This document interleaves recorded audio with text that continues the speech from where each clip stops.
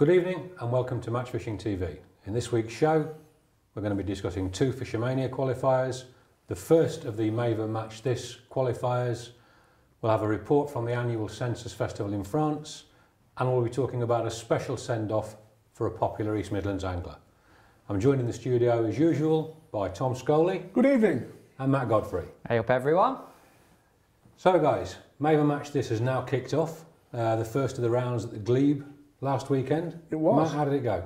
It was fantastic. It fished really well. Now the Glebe Match This qualifiers are always sellouts. People are itching to get them tickets every every year. Um, and the first ones on the website to get the line through sold out. Um, this particular one were no different and it was won by a nice guy, Si Fry, Mr Simon Fry of Garbolino. He had £203, 12 ounces off Ugly's Lake. Uh, stunning net of fish and it's always won with a massive weight at Glebe. Um, and you look at the backup weights, um, young Tom Edwards was second with 180 pound. Um, Brett Chapman was third with 174 pound. So it's fished, it's racks off, um, some massive weights of fish. And I looked at Simon's net of fish off Uglies, um, and the lake is on, called Uglies. It's full of all the sort You've of still got these big crocodiles. yeah, yeah, Yeah, He puts yeah. all the reject carp from all the other lakes into this lake. And I've seen this picture of Simon holding one of them, and it's got a massive hump back on it, big stumpy tail. So he's obviously had a great day's fishing. He's caught some on bomb and pellet to start off with, fish up to 14 pound. Um, and then he's coming on his pole line and caught some more later on. So fantastic performance, some lovely fish caught, and a cracking day's fishing. I mean, Uglies is a zoo creature. It is zoo creature country, isn't it? Yeah, yeah. I mean, it's interesting on that lake because it's actually regarded by the, the locals as being one of the harder lakes on the complex because it's not got, perhaps got as many fish in as You don't need as One. many bites, do you? Exactly, but it's won some massive matches in its time. I think last year Rob Button uh, won the Ivan Marks Memorial off it. Yeah, he Certainly did, he's done it a, a couple of times. And whenever there's a big event like this, it always seems to figure well. You know, And did, on Uglies, would you set your stall out differently because you know you're going to be fishing for bigger fish, or is, is it just a case of you're going to be waiting long between bites? I don't know. I- think the thing about uglies is you haven't got to catch all day on it because the fish are so big. Um, I'd probably be excited about drawing it because two or three hours into the match, you might have nothing in your net. But you've still got a chance. You've still got a chance in a big match like a match this qualifier. You could think, you could think last two hours, I'm going to catch some big fish late on on my short line or down the edge, and you could catch 200 pound in a couple of hours on there. So I think that the exciting thing about drawing that lake is that even with a little bit of time left in the match, you're always in with a chance of winning. Definitely some real features as well. There's, there's the island, isn't there? Yeah, which you yeah. need some you know, proper tackle to fish from. And there's some boards as well at one end of the lake, and you need if you're going to fish there, you need some proper gear. So you, you do need to have some. Uh, Strap into your box. yeah, you need some serious tackle set up if you Yeah. set up if you're going to have a go on. More like charter fishing.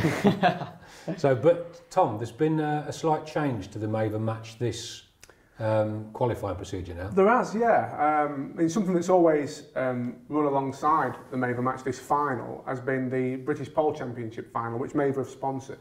And that's actually really is, is like a practice for the finalists of the Maver Match this final because every finalist, every winner of a qualifier also qualified for the British Pole Champs final. But also it's been another incentive because if you finished in the top six in a qualifier, you qualified for the final, um, for the, For the Pole Pole Championship. final. Yeah. And it took place a week before, or two weeks before, as was last year, the main um, Maver Match this final. And again, it was at Larford Lakes. Um, and it proved really popular, but the problem that they've had is some of the um, qualifiers who've actually qualified to fish it haven't been able to make it because August is such a congested month in terms of fishing, you know. I mean, obviously the actual finalists themselves have always made it a priority to fish because it's a great way to practice for the final.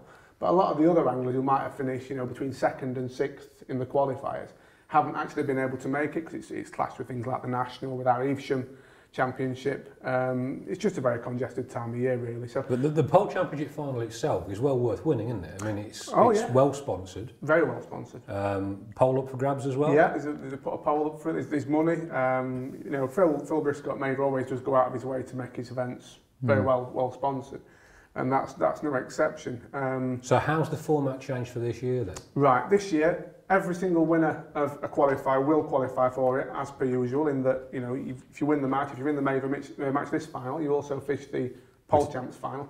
But also, it's going to have an invited list of 16 anglers, uh, which greatly reduces the size of the final because normally it's a 24 peg final. Um, sorry, n- normally it's a 120 peg final for the British Pole Champs, spread over um, Match Lake and Specimen Lake. But this year it's just 40 anglers in that final, so it's cut it down in terms of numbers as well. And the prize fund, is that still the same sort of sponsorship level? It hasn't really been speculated on yet, has it? No, it's not. So well, It's going to be interesting to see, but certainly, I mean, it's, you know, I think you're absolutely right. If, if you just were to take Evesham the week before the Maver match this final, Yeah, yeah. that is a clash. You know, the British Pole Championship final as a run up to the Maver match this, or Evesham.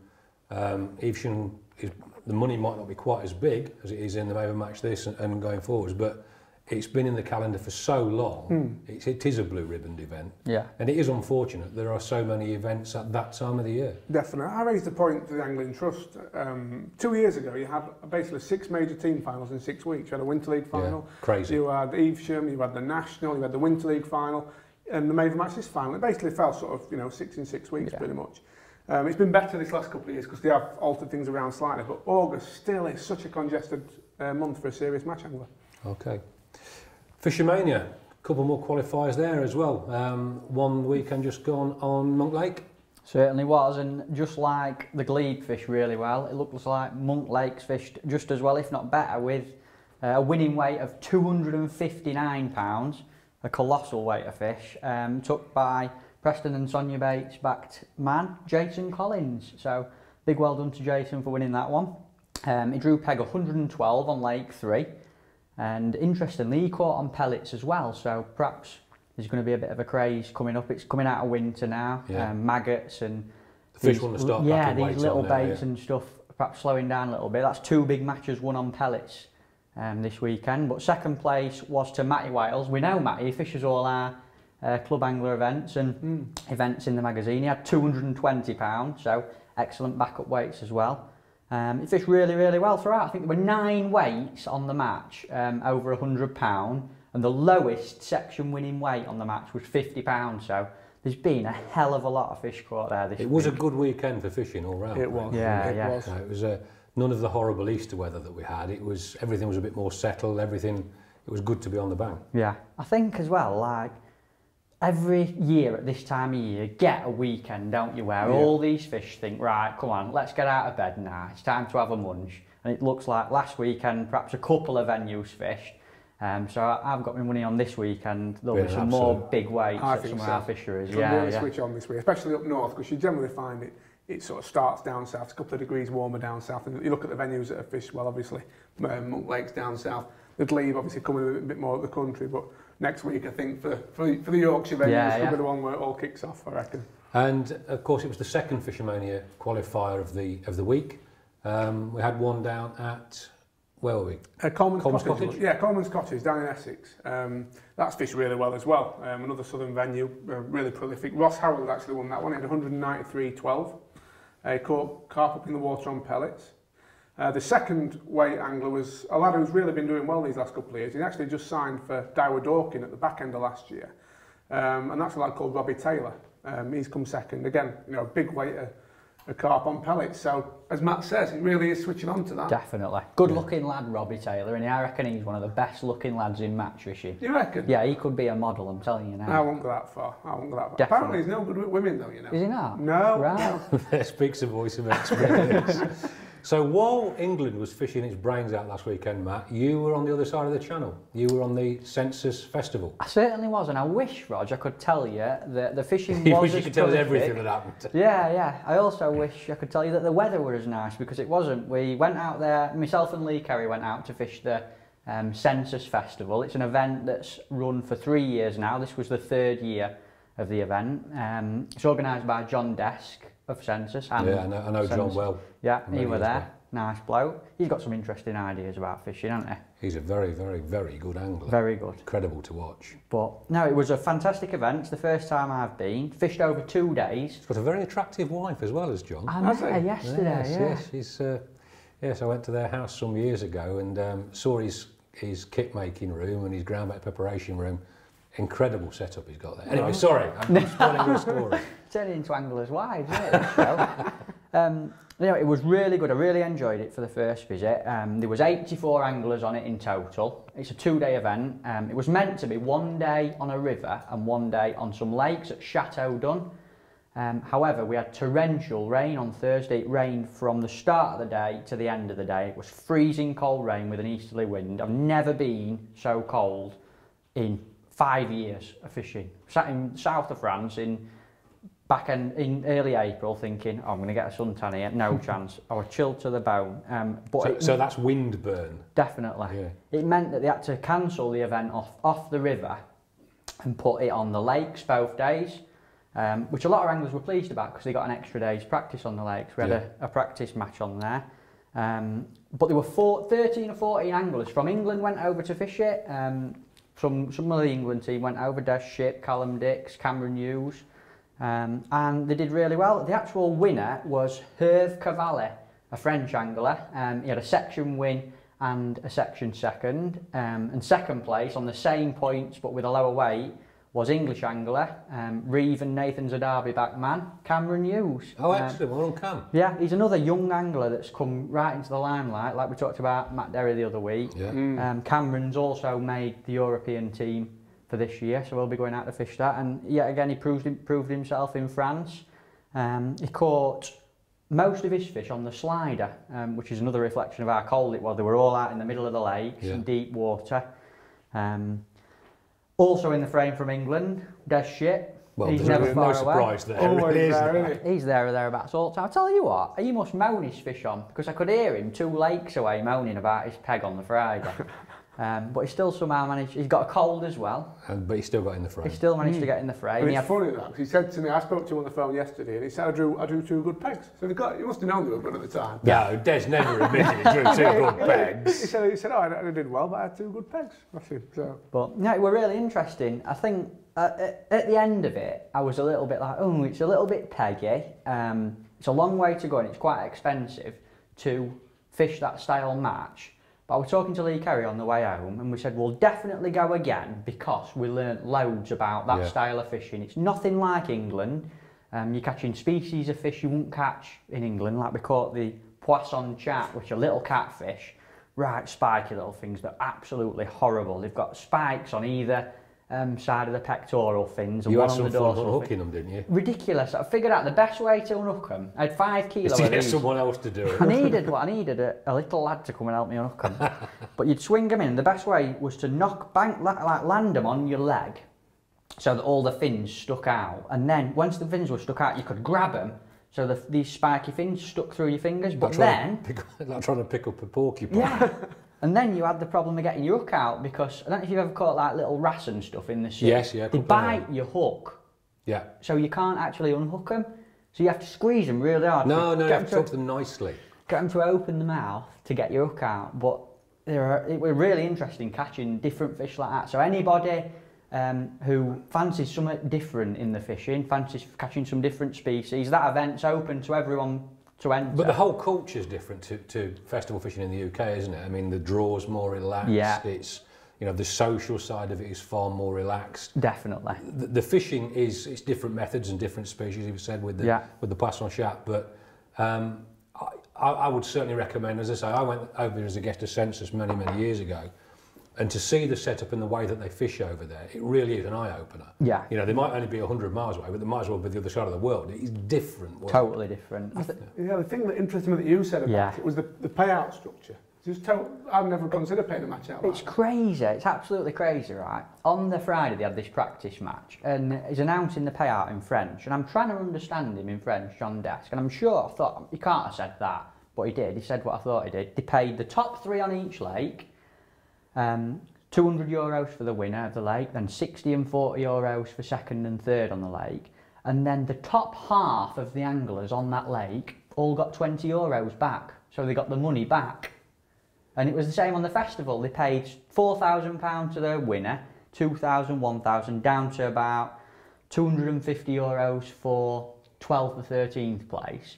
And then up to 21st place, everyone got 200 euros. So they And got you the money sneaked back. into that list, didn't you? I did, I managed to sneak into 12th. So I'll fetch you a few beer tokens. Yeah, back. he did well, mate. He did well. Brilliant. One, one final mention must go out to young Bradley Gibbons, um, young angler. He's 18 years old. He's in the England Junior setup and he came fifth overall. So real good performance in front of some top class anglers. Well done, Bradley. Well done. Well okay, done. well, we're going to take a break now, but after the break, we've got an interview with Cameron Hughes that Matt did while he was at the Sensas Festival.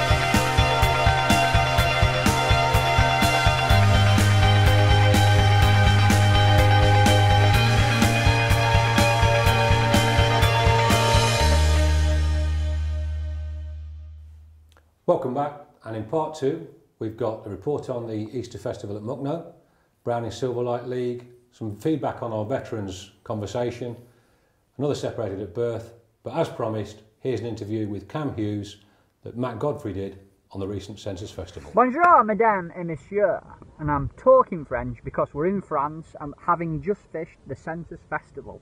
And with me, I've got the individual second place man, Mr. Cameron Hughes. Well done, sir. Thank you very much. Have you enjoyed yourself? Yeah, it's been a really good weekend. Let us have a little look at what you've won. Look at that. And along with it, how many pennies? Two and a half thousand euros. Jeez. Lovely. You're going to buy me a beer later? Mm, if you're quick. Fantastic. now, you've had two lovely days fishing, haven't you? Yep. And tell, tell me a little bit about them. Well, day one was really good to be honest. Um, I drew peg 64. Um, Yeah. I had a lovely day on the slider. Yeah. And I had two skimmers about a pound, pound and a half. Um, two Carassios, two pound. Nice. And 20 or so smaller fish. Lovely. or six kilo, 410, which was enough to win the section. Brilliant. And what Um, about today? Today, I've drawn what I thought would be the best peg on the match as it won the match yesterday with 11 kilos, so it's really up for it. Um, it's not fished quite that well. I've come second in that section today with um, 15 catfish and one skimmer for a kilo and 10, 20 grams. Oh, me next. So that's been a lot harder, hasn't it? A lot harder, yeah. Um, no chance of winning the section really at 3 kilo, which is quite a big difference on the day. Yeah.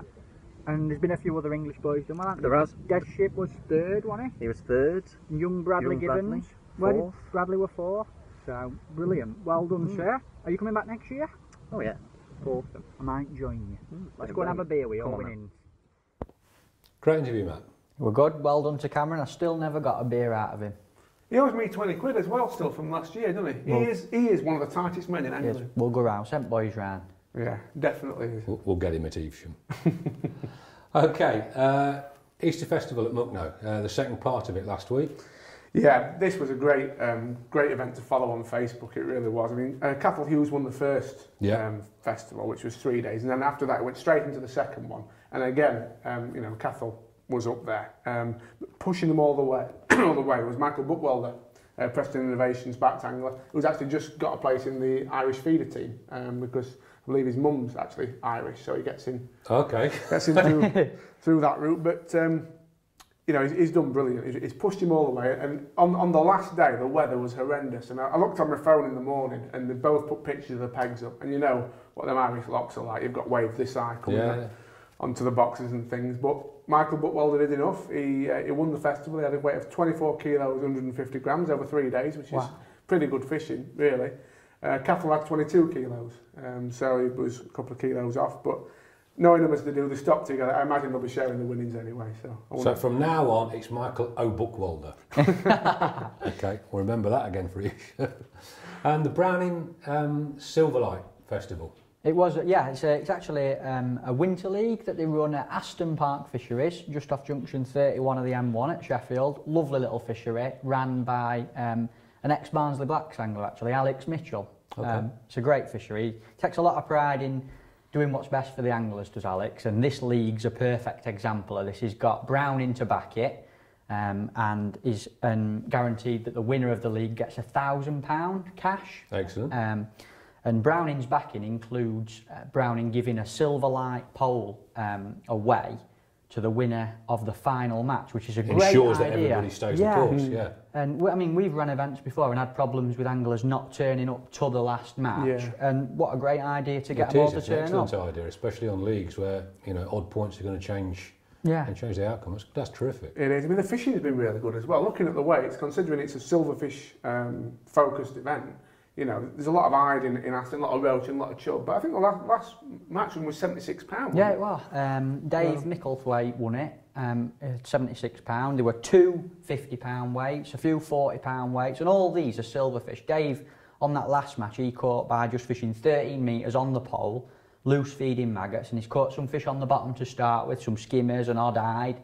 And as the day's gone on, the fish have com- started competing for food, and he's ended up catching them shallow on maggots. And 76 pound of silverfish shallow on maggots. That is a fantastic day's fishing. Great days fishing. And like I said, the backup weight's unbelievable. And the thing is about Aston, it's the lakes they fish on, um, the Split Lake and Lily Pond, lovely ponds, nice platforms, you get a lovely breakfast there and it's a round lake and it's pretty fair fishing. Like people get bites all the way around. Um, so if you're looking for somewhere to go for some good silverfish sport next year, it's definitely worth a look. It is. That, that's where he's really priding himself on people getting bites, as Matt says, you know, and he's, he's actually spent a lot of money putting a aeration system in, so that even when a lot of venues freeze, early in the Still year, got so free- January, clear February, water, yeah. Yeah. you can you can fish, and because of the species stock, cold water fish like Ide, etc., you get bites. Even in, I've been there in, in January and half the lake's been frozen. I took a young lad down who wanted to go fishing once, and you know he caught loads of fish. I'm like, can't believe it this weather. You know, Yeah. brilliant. But winner of the league, picking up the thousand pound, was Leon Hardwick, Ah, um, Mosborough tackle box man.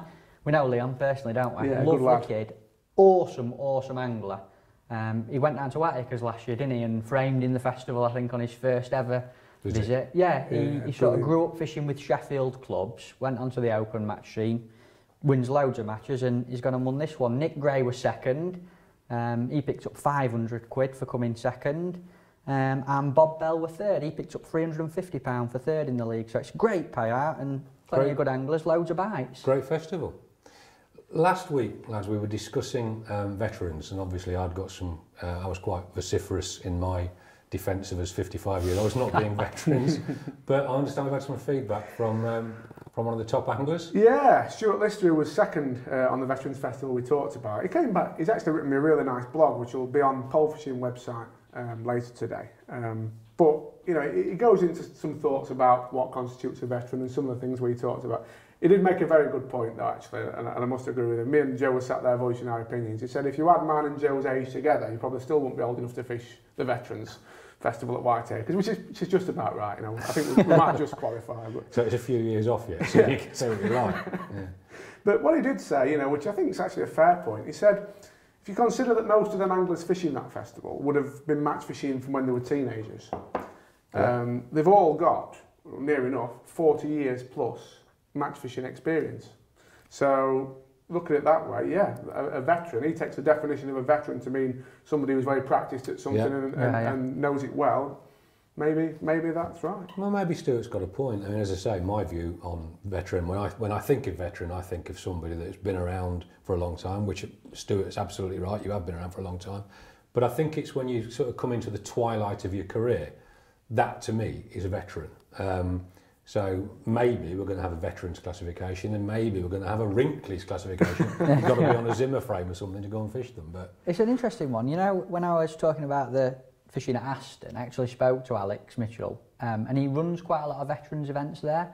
And I think he's tried both age gaps for his veterans matches. 55s or 60s. Yes, he started at 60s and he said he didn't get, he got a few turn up, but as soon as he dropped it to 55, Oh. they were mega, mega popular. As we discussed last Yeah. week, Matt, with, with Joe and, and Tom, um, you know, uh, without any doubt at all, 55 commercially makes Yeah, sense. yeah.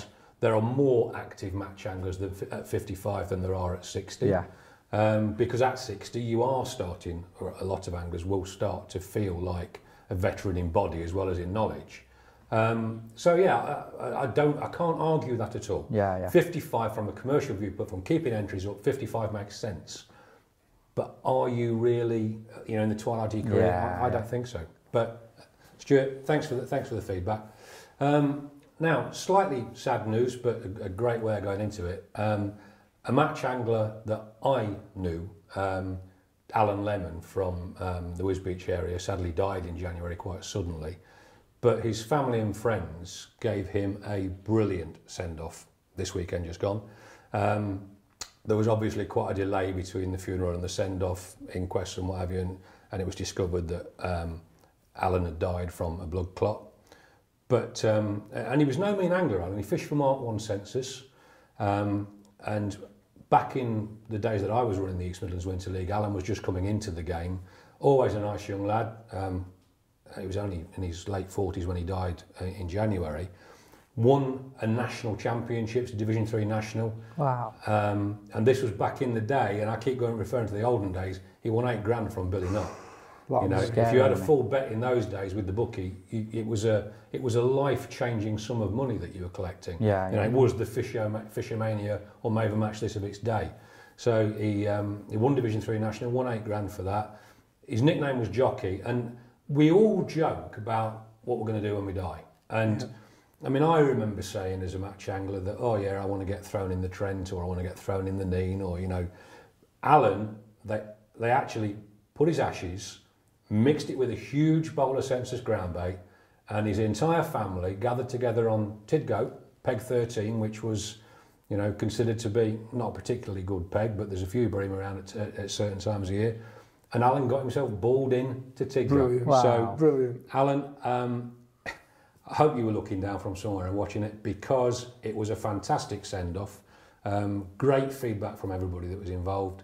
It was a pleasure to know Alan. I was honoured to know Alan, um, but what a way to be sent off. Well, well done to everybody over in the on the East Midlands circuit for Awesome. giving Alan a great. Fantastic.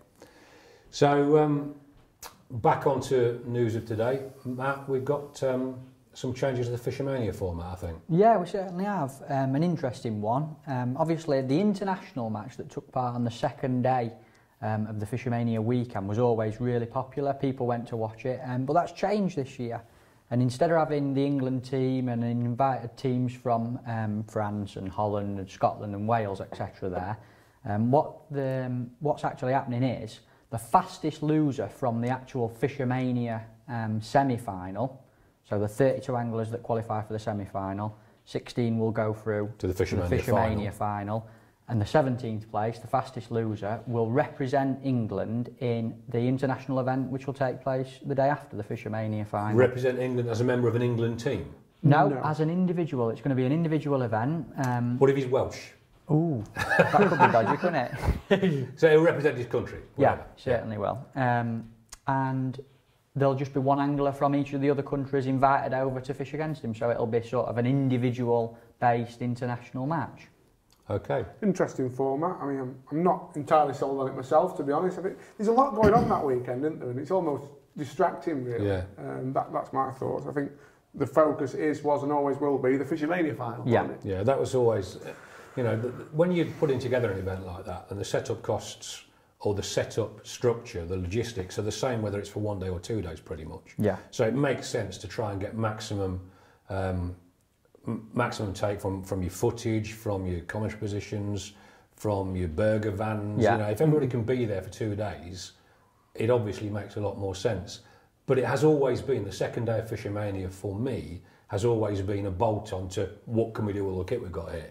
Yeah. Um, certainly the, the, the international, the home international as it was, then the full international team event as it became, it, it grew in popularity. But honestly, I don't think whatever they do is going to match the excitement of the main event, which No. is the Fish'O'Mania individual final. The only thing I will say is I personally I would definitely rather see it how it was with um, Will Raison and Alan Scotthorne fishing um, in an exciting match like Will Raison caught that carp a couple of years ago right on the whistle Yeah, and huge people fish, talked about that Yeah, they all did. year and he got a massive crowd behind That was a game changer. I mean, it was, that was pure drama. That was theatre. Yeah, and I don't think you can you're going to have that same effect with this No. new match. Um, so I think personally I'd rather see it Yeah, I think it's it going to be a scene. I think the Sunday now is going to be a wind down, Yeah. as Mm. opposed to a continuation of a of a great event.